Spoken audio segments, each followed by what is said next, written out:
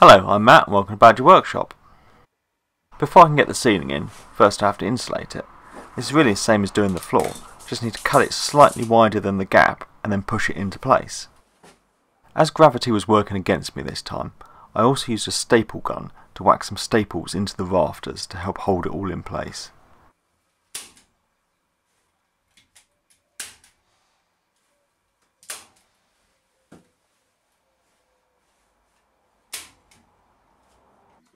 The ceiling is going to get lined with some thin sheets of plywood that will bend to the curve of the roof.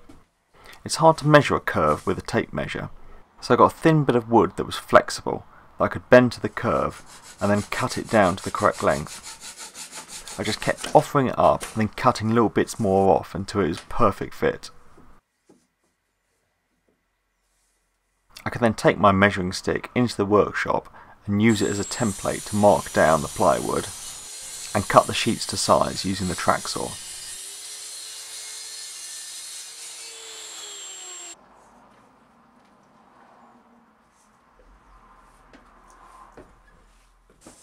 I know you're watching this and you're thinking, wow, he's making this look incredibly simple.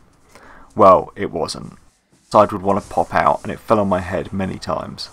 But I find with plywood, if you swear loudly at it, it seems to work but I was very relieved to have got a few screws in to hold it in place.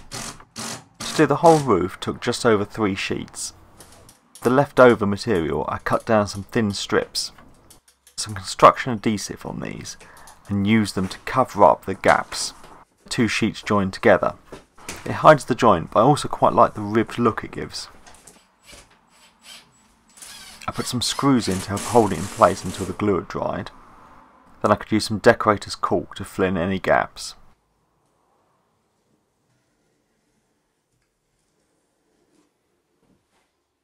The next day when it all dried, I gave it a coat of undercoat.